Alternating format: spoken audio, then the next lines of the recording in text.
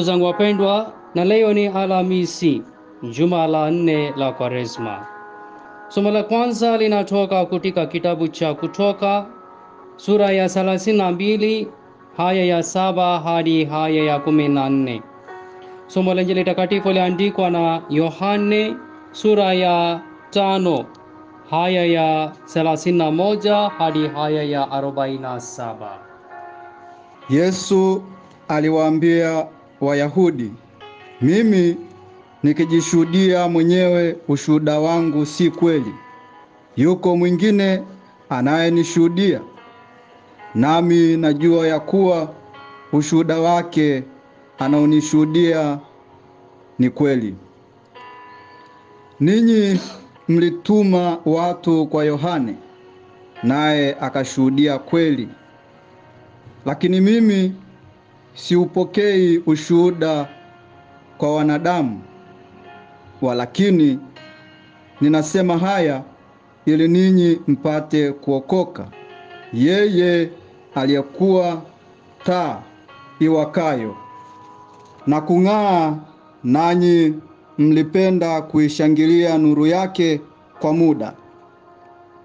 Lakini ushuhuda nilionao mimi ni mkubwa kuliko ule wa Yohane, kwa kuwa zile kazi alizonipa Baba ili nizimalize, kazi hizo zenyewe ninazozitenda zinanishuhudia ya kwamba Baba amenituma, na yeye Baba aliyenipeleka amenishuhudia. Sauti yake hamkuisikia wakati wowote, wala sura yake hamkuiona, wala neno lake hamnalo likakaa ndani yenu, kwa kuwa ninyi hamumwamini yule aliyetumwa na yeye. Mwayachunguza maandiko kwa sababu mnadhani kwamba ninyi mna uzima wa milele ndani yake, na hayo ndiyo yanayonishuhudia. Wala hamtaki kuja kwangu mpate kuwa na uzima. Mimi siupokei utukufu kwa wanadamu, walakini nimewajua ninyi ya kuwa hamna upendo wa Mungu ndani yenu. Mimi nimekuja kwa jina la Baba yangu, wala ninyi hamnipokei. Mwingine akija kwa jina lake mwenyewe, mtampokea huyo. Mwawezaje kuamini ninyi mnapopokeana utukufu ninyi kwa ninyi, na utukufu ule utokao kwa Mungu aliye pekee hamutafuti?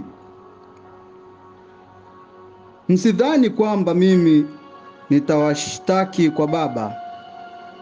Yuko anayewashitaki ndiye Musa mnayemtumainia ninyi. Kwa maana kama mngalimwamini Musa, mngeniamini mimi, kwa sababu yeye anaandika habari zangu. Lakini msipoyaamini maandiko yake, mtayaamini wapi maneno yangu? Neno la Bwana. Sifa kwako e Kristo. Wapendwa taifa la Mungu, karibuni tusikilize tafakari yetu ya leo, kama tulivyosikia katika Injili ya Yohane sura ile ya tano aya ya 31 hadi 47. Ujumbe mkuu ukiwa ni kutokuweka mashaka juu ya Yesu ama kuwa na imani thabiti juu ya Yesu kama msingi wa wokovu wetu. Na pili, wazo kuu likiwa ni Yesu ni mfano wa Mungu tusiyemuona. Hivyo Yesu anamwonyesha au anamdhihirisha Mungu kati ya wanadamu. Wapendwa wa taifa la Mungu, katika somo letu la Injili tunasikia Yesu jinsi anakutana na watu na watu hawa wakikosa imani juu ya Yesu, na hivyo wanajaribu kudai ushuhuda kamili kutoka kwa Yesu kwamba Yesu ni nani na mambo gani yanayomshuhudia yeye kuwa Mungu, mambo gani yanayomshuhudia kuwa yeye ni Mungu kati yao. Hivyo basi, katika mazingira hayo, Yesu anabainisha ya kwamba yeye si tu maandiko matakatifu au manabii na mapokeo yanayomshuhudia yeye, bali Mungu ambaye ndiye Baba yake yupo akimshuhudia kuwa yeye ni mwana wa Mungu na yeye kuwa masia wa Mungu. Wapendwa ndugu zangu katika Kristo, watu hawa tunaona wanakosa imani, na tunapoangalia maana ya imani tunajifunza ya kwamba imani ni kuwa na hakika na kuwa na bayana ya mambo tusiyoyaona. Maana yake kumwamini Yesu, kumwamini mwana wa Mungu kuwa yeye ndiye Kristo Yesu, nafsi ya pili ya Mungu, ya kwamba yeye ni Mungu kweli na mtu kweli. Ili tuwe na hiyo imani, tunahitaji Roho Mtakatifu, tunahitaji msaada wa Roho Mtakatifu ili aweze kutusaidia kuelewa mafumbo hayo. Na tunapomkosa huyo Roho Mtakatifu, ndipo tunaanza kupoteza matumaini, ndipo tunapoanza kukwama, na ndipo tunapoanza kuzama kama alivyozama Petro katika hali ya mashaka pale alipokuwa akipungukiwa na imani. Rejea Injili ya Mathayo sura ile ya kumi na nne aya ya ishirini na mbili hadi aya ya thelathini na moja.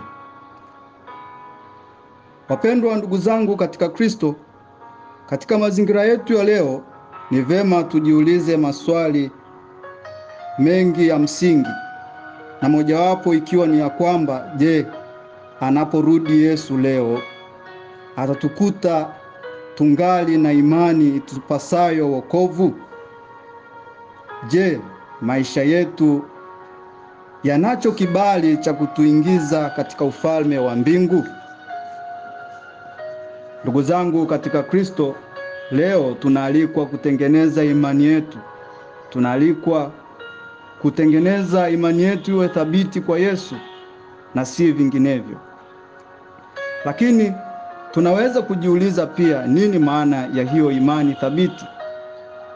Wapendwa ndugu zangu, kuwa na imani thabiti hatuishii kuhudhuria misa Jumapili na kusema inatosha, bali kuhudhuria hiyo misa kila Jumapili na kuyafanyia kazi mafundisho ya kanisa kwa maneno yetu na kwa matendo yetu, na hivyo kujihoji maswali kila siku na kujibu maswali haya ya kwamba je, ninashika amri za Mungu?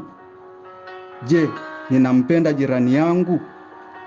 Je, ninasoma maandiko matakatifu na kuyafuata? Je, ninawasaidia wale wanaonihitaji msaada?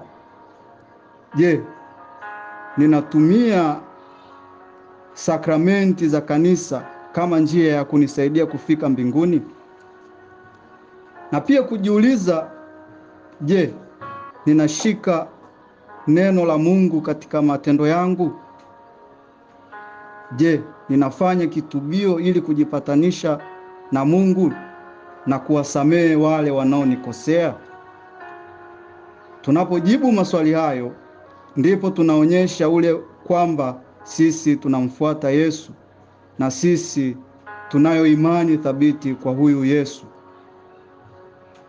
Pia Yesu katika Injili anatufafanulia ya kwamba si tu kwamba maandiko matakatifu ama manabii ama mapokeo yanayomshuhudia yeye kuwa ni mwana wa Mungu, bali Baba yake ambaye ndiye Mungu ndiye anayemshuhudia yeye kuwa yeye ni mwana wa Mungu, na pia kazi azifanyazo ni kielelezo tosha cha kutufanya tumwamini yeye.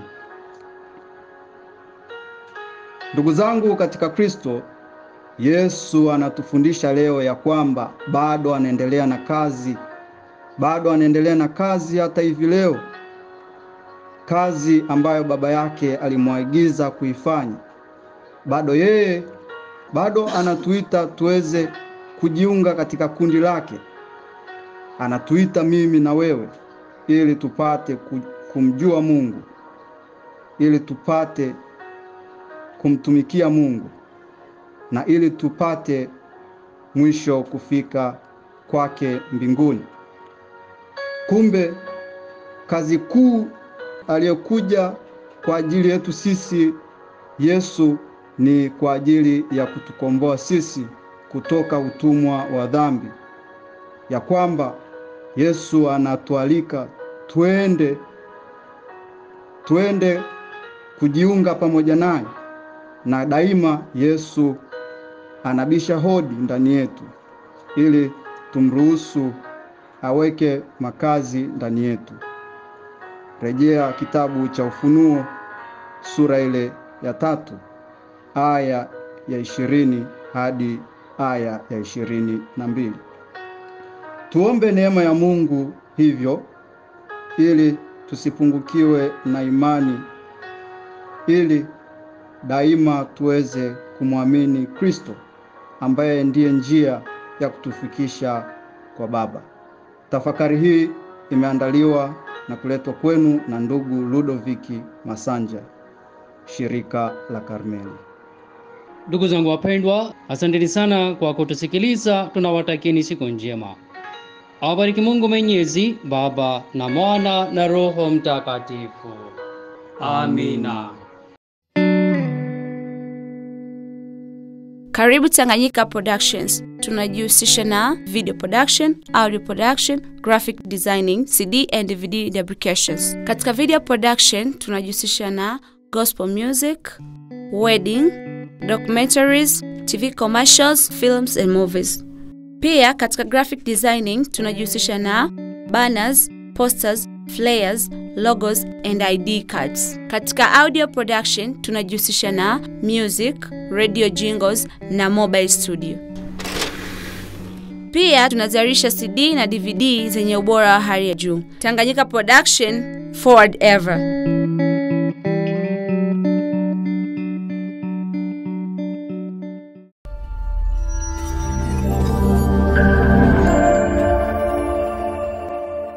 Tunashukuru sana kwa kutazama vipindi vyetu. Tunakuomba usubscribe ili upate mengi zaidi. Asante kwa kuitazama Imba Nasi.